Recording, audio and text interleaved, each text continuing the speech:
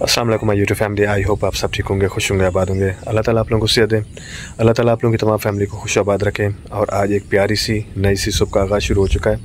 और इन आज जो भी डेली की रूटीन होगी, वो मैं आपके साथ शेयर करूँगा। और आज काफ़ी टाइम बाद जो है, आसमान बिल्कुल साफ़ है और सूरज की रोशनी जो है, वो देखे मेरे फेस के ऊपर पड़ रही है। और अच्छी भी लग रही है, क्योंकि हवा भी इस टाइम जो है, वो ठंडी चल रही है। और सूरज की रोशनी भी सही लग रही है। तो मैं आपको दिखाता हूँ। ये देखें, चमकता हुआ सूरज और आसमान बिल्कुल साफ़। कहीं से भी बादल नज़र नहीं आएँगे और अच्छे मौसम में अच्छे फूल खिलखिलाते हुए। और कल से जो है, मेरी सास और ससुर जो है, वो अपने रिश्तेदारों से मिलने के लिए गए हुए हैं। तो बस वो अभी पहुँचने वाले हैं, वो जैसे ही पहुँचेंगे तो फिर हम यहाँ से निकल जाएँगे। और मेरी वाइफ कौसर जो है, वो रेडी हो रही हैं। मैं जाके देखता हूँ कि वो रेडी हो गई या नहीं हो गई, क्योंकि मेरे सास और ससुर जो है, वो बस अभी पहुँचने वाले होंगे। और यहाँ पर जो है पिजन को सुबह सुबह निकाल दिया है। और पिजन भी आज ज़्यादा हैप्पी हैं, खुश हैं। और जब मौसम अच्छा होता है तो हर परिंदा खुश होता है। और हर तरफ़ से परिंदों के चहचहाने की आवाज़ आ रही है। और रात को जो है, जैद भाई से बात हुई और जैद भाई ने कहा कि हम भी आ रहे हैं वहाँ विलेज में, गाँव में, जो हमारा अपना गाँव है। तो आप भी आ जाओ। और काफ़ी दफ़ा कहा तो मैंने कहा, चलो ठीक है, मैं सुबह आ जाऊँगा। तो अभी बस हम रेडी हैं और जैद भाई भी अब वो पहुँचने वाले हैं। मेरे ख्याल में उनकी फ़ैमिली पता नहीं आती है या नहीं आती। और जैद भाई और शहजाद भाई जो हैं, वो दोनों आ रहे हैं। तो मैं और मेरी वाइफ कौसर जो है हम दोनों यहाँ से जा रहे हैं। तो इन हमारी मुलाकात वहीं विलेज में ही होगी। ये तो हमारा नाश्ता रेडी होके आ चुका है गर्मा गर्म पराठे और एग के साथ। और मुझे जो है चावल छोले ज़्यादा पसंद हैं तो जब मैं जाऊँगा तो रास्ते से हुए चावल छोले लाजमी खा के जाऊँगा। तो मैं बिल्कुल रेडी हो गया हूँ और मेरी वाइफ कौसर भी रेडी हो गई है। और मेरी सास और ससुर जो हैं वो लियाकत पर रुक गए तो वो कह रहे थे हमारी जो बाइक है पुरानी वाली तो वो लेके आ जाएँ वहाँ तक। जी तो मैं भी रेडी हो गया हूँ और मेरी वाइफ कौसर जो है वो भी रेडी हो चुकी है। तो बस अभी हम यहाँ से निकलते हैं। मेरे सास और ससुर जो हैं वो लियाकतपुर उन्होंने स्टे कर लिया। जो उनकी बाइक है वहाँ उनको जा कर दूँगा और अपनी बाइक वहाँ से लेके तो फिर हम चले जाएँगे विलेज की तरफ़। आप रेडी हो गई? हाँ। मैंने तार इसी के अंदर रख दी है ठीक है? और हेलमेट भी उठा लेते हैं। आ जाए। और आसिम भाई जो हैं यहाँ से बाइक लेके जा रहे हैं और वहाँ जाकर हमें देंगे और हम यहाँ से वॉक करते हुए जा रहे हैं। तो ये है कि देहात में काफ़ी सारी वॉक हो जाती है। तो आसिम भाई जो है बाइक लेके पहुँच गए हैं। ओके आसिम भाई थैंक यू शुक्रिया। सो चलते हैं हम इस बाइक के ऊपर। आप बिल्कुल रेडी हैं? हाँ, हाँ? मैं बाइक भगाऊँगा। ठीक है। ये नो आप पीछे पड़ी और मैं आगे जा रहा हूँ। जी तो हमने रास्ते में जो है बाइक चेंज कर लिया है और ये बाइक ले ली और मामू भी आए हुए हैं। चलो ठीक है मामू, हम चलते हैं, चलो। जी तो इस वक्त हम अपने सिटी अहमदपुर शर्किया पहुँच चुके हैं। ये रहा अहमदपुर शर्किया। तो अभी हम चाह रहे हैं अपने विलेज की तरफ़। इस तरफ़ से आए थे और इस तरफ़ जो अहमदपुर सिटी है। ये अहमदपुर सिटी है। आगे जाके मार्केट शुरू हो जाती है और सामने रेलवे फाटक है। तो हमने इस रेलवे फाटक को क्रॉस करना है। तो हमने जैसे ही फाटक क्रॉस किया तो ये वो सब्ज़ी वाला बैठा सब्ज़ी वाले से कुछ टमाटर लिए, मिर्ची ली और यहाँ से पानी वगैरह लिया।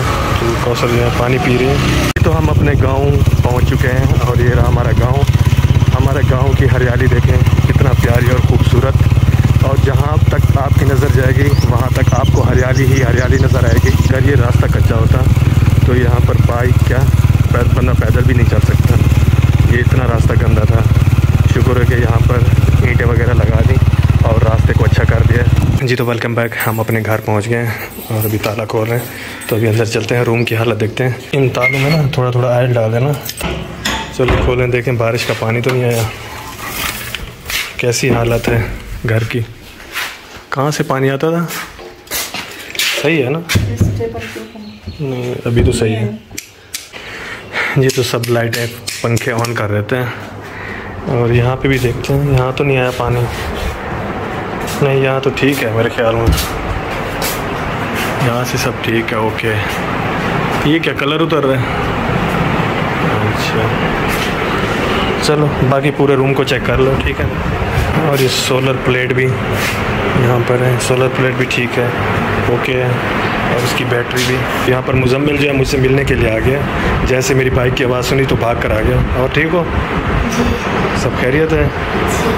तो यहाँ से मैं अपनी चप्पल निकाल लेता हूँ, क्योंकि ये शूज़ जो है ख़राब ना हो जाए।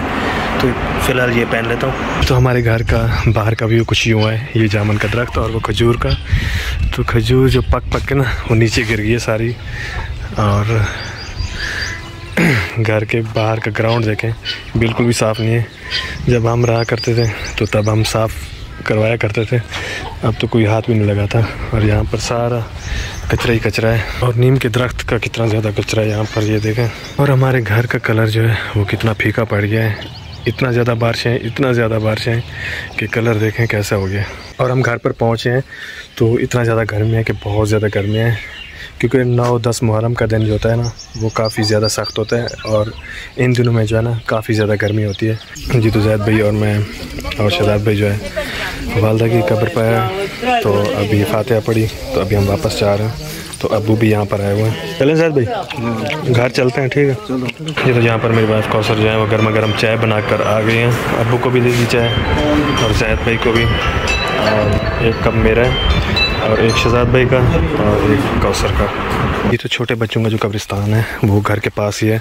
तो अभी हम यहाँ पर आए थे, फातिहा पड़ी। तो अभी हम वापस जा रहे हैं जैद भाई और शहजाद भाई के साथ। मौसम काफ़ी गर्म है, क्योंकि छोटे बच्चे जो होते हैं ना, वो खुद गुनाहों से पाक होते हैं। और वालदेन और रिश्तेदारों का जो मकफरत का सबब बनते हैं। शहजाद भाई, मैं जैद भाई जो है जुम्मा नमाज़ पढ़ने आए थे। तो हमने नमाज़ जो है वो पढ़ ली है और जैद भाई और शहजाद भाई वो आ रहे हैं। तो बस अभी हम घर चलते हैं। वहाँ पे खाना रेडी है, खाना खा के फिर हम निकल जाएँगे लियाकतपुर की तरफ़ और जैद भाई और शहजाद भाई जो हैं, वो फिर चले जाएँगे समा सटा और गर्मी बहुत है, इसीलिए मुझे अपने जो बटन है, ये खोल के रखने पड़ रहे हैं। जी तो हम जुम्मा नमाज़ पढ़ने के बाद वापस घर आ गए और यहाँ पर चावल भी रेडी हो गए। आलू बिरयानी।